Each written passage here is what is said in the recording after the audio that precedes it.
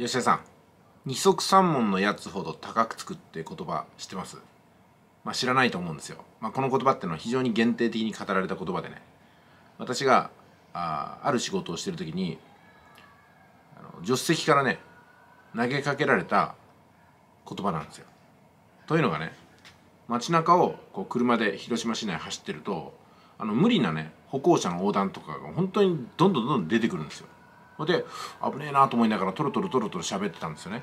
そしたら投げかけられた言葉が「気をつけろよ」と「二足三門のやつほど高くつくぞ」みたいな言うんですよ。というのが忙しく働いていらっしゃる方は仮に事故があっても弁護士に任して決まり通りの対応をするけども暇なやつほどごねてごねてごねていろんな被害をでっち上げて面倒かけてくるよっていうことらしいんですよね。でこれとはちょっと違うかもしれませんけどもある日ね堀江貴文さんがあの質問に対して返信してくださったんですよ。堀江さんの個人情報ってどういうふうに扱ってます？って聞いたら返信がね「いや俺大した個人情報持ってないからさ別に考えてないよ」みたいな言ってたんですよ。で後日別のところでみんな個人情報結構ビビってるけどそんな大切な個人情報誰か持ってんの？名前と血液型と住所くらいでしょ？って。どうしたのそれ？みたいな感じで言ってたんですよね。うん、で今回の郷ひろみさんですよね。やっぱり高い地位の人がやるからこそ影響がある価値があるものだと思うんですよ。例えば私が土下座してもね誰も喜ばないし誰も悲しまないっていうかねそんな価値がないんで二足三門なんですよまさに。で私が躊躇すればするほど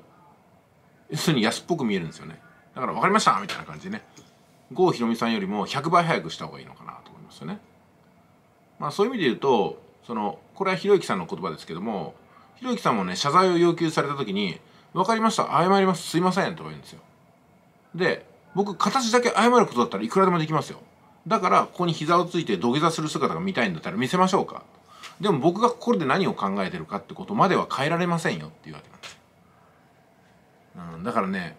いくらね形だけで服従させても面従服配っていう言葉があるように中身までは変えられないんですよねだから言うことは聞かせられても心の中までは踏みにじれないってことなんでしょうねきっとねつまりはプライドっていうのはまあそういうことなのかなどういうことかっていうと形だけ形をねじ曲げることがプライドを捨てることじゃなくってまあ強いて言えばねプライドなんていうのは心に一人でこそっと思っとけばいいわけですよ。で商売をしてると人に頭を下げないといけない瞬間ってあるんですよね。自分が悪くないのに人に頭を下げないといけない時ってあるんですよ。その時は目の前の人に頭を下げてるんじゃなくて商売という道ビジネスというものに対して謙虚に頭を下げてるんだって気持ちが大事らしいですよね。ビジネスにはこういった不合理もあるし不条理もあるし矛盾もあるでもその全てに対して自分が生きていく道なんだからいつも頭を下げていようっていう人が勝つらしいんですよそんなことに頭下げてられっかよみたいな人はもう本当に二足三門だってことらしいんですよね。1円も生まねえよと。それこそ雑草を食べて1,000円くれるって言うんだったらいくらでも食べましょうっていうのが商売ですから。だから本当にお金のことを考えるんだったらコンテンツを作る大変さとかね集客の大変さとか販売の大変さなんてのは本当にねあのできないことじゃないですよ。私もそうですけども売り上げのためにだったら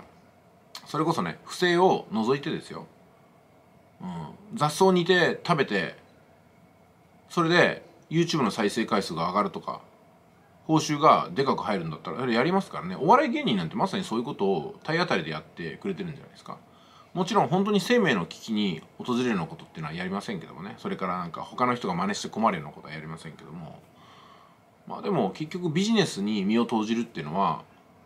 うん。ある程度身を粉にするってことなんじゃないですかね。それこそ人に迷惑をかけてまでアクセスを取ったりとかね。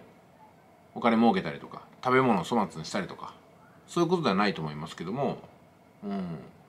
自分一人の気持ちの問題なんだったらいくらでもそれは超えていけるんじゃないかなと思いますけどね、うん、プライドね。何なんでしょうねプライドね、うん、必要な時もあるし捨てないといけない時もある。まあでも最後に言いますけどもプライドをなくすってのはどういうことかっていうと1円も稼げないのに寝るってことでしょ。いってらっしゃい。